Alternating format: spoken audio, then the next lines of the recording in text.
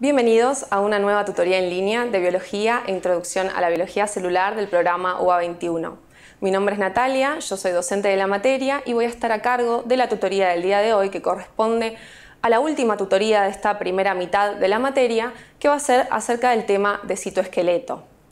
Como siempre, antes de comenzar, les vamos a decir que estas tutorías no reemplazan a la lectura de la bibliografía obligatoria, sino que ustedes tienen que completar y profundizar con los contenidos que se encuentran en el libro, así que cualquier duda que les surjan tanto acerca de esta tutoría, de los contenidos del libro, así como también de los seminarios, pueden consultarla en los foros específicos que están habilitados en el campus virtual.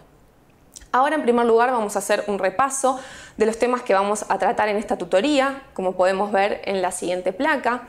En primer lugar y en el primer bloque vamos a definir qué es el citoesqueleto, cómo está compuesto y vamos a definir también sus principales características y funciones. En el segundo y tercer bloque vamos a profundizar un poco más acerca de cada uno de los componentes más importantes del citoesqueleto y ya en el último bloque vamos a realizar un ejercicio modelo de parcial. Vamos entonces ahora a comenzar con este primer bloque de la tutoría. Como podemos ver en la siguiente diapositiva, el citoesqueleto es un armazón proteico filamentoso que se encuentra desplegado a lo largo de todo el citosol de las células eucariotas. Es muy importante que ustedes recuerden esta definición, ya que nos da información muy importante. En primer lugar, en cuanto a la composición del citoesqueleto, nos dice que está formado por proteínas. En segundo lugar, en cuanto a su ubicación, ya que nos habla de que está distribuido, desplegado a lo largo del citosol.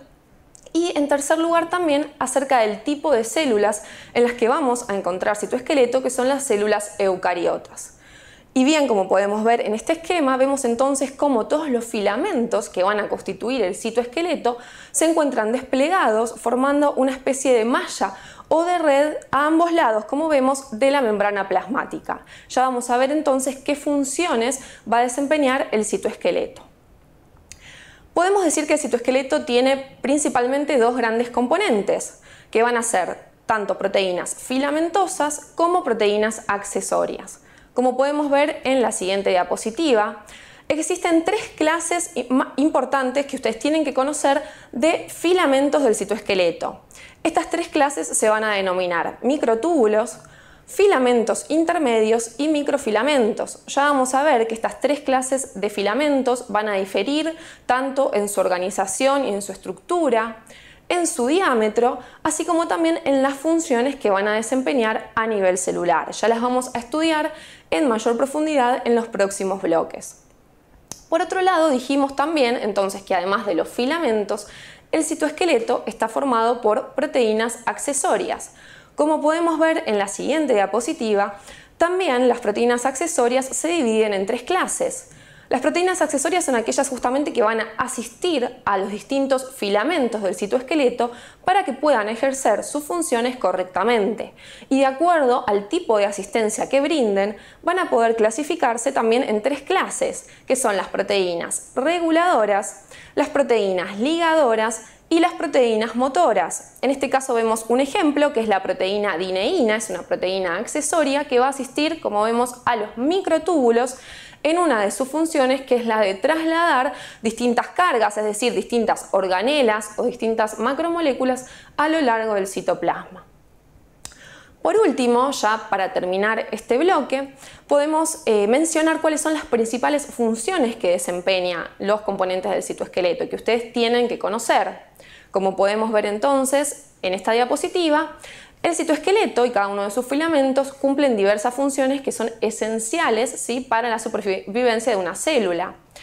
Es lógico pensar que el citoesqueleto, al formar un armazón a lo largo de todo el citosol de las células, va a darles justamente un sostén, es decir, va a tener una función mecánica también va a contribuir a dar forma a las células, ya sea a mantener una forma estable en aquellas células que requieran mantener una forma estable o cambiante en aquellas que también lo requieran de acuerdo a su función.